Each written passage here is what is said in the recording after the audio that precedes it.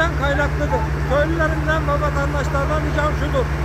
Elektrik tesisatlarını teknis, elektrik teknisyenlerine bir kontrolden geçirtmeleri, hoca temizliklerini hiç gelmeden yapmalarını rica ediyorum. Bu 2020'den bu yana 5. yangın olmuştur. Çıkan yangınlar da elektrik ve bacadan çık, çıkma olasılığı olduğundan dolayı vatandaşların bu konuda hassasiyetine dikkat çekmek istiyorum.